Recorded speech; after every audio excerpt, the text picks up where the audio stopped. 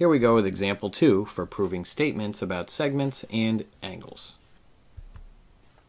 This needs to be written down in your notebook. If it's not, pause the video and go ahead and write this in because we're going to be using this throughout this video. So here in example 2, we're going to write our two column proof given that AC is equal to AB plus AB and we have to prove that AB equals BC.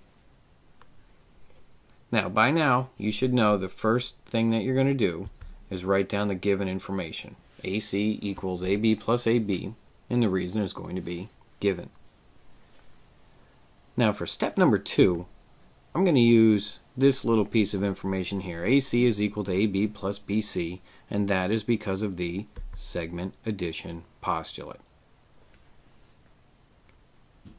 Now, for statement number three, one of the things I want to take a look at is statement number one and statement number two. Notice both of these have AC. And so what I'm going to do is take each one of those separate pieces and set them equal to each other by the substitution property of equality. So AB plus AB is going to be equal to AB plus BC. So I'm just combining statements 1 and 2 using that substitution property of equality. Now, some textbooks, instead of calling it substitution property of equality, they might call it the transitive property of equality. Either one of these is okay.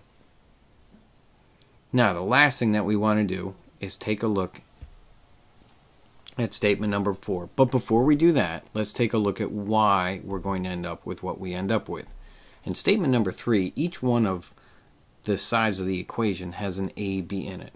So we're going to go ahead and write our last statement, AB equals BC, but the reason for that step is going to be the subtraction property of equality because in step three we're going to subtract AB on both sides and when we take that out the only thing we'll be left with is AB equals BC which is my statement number four.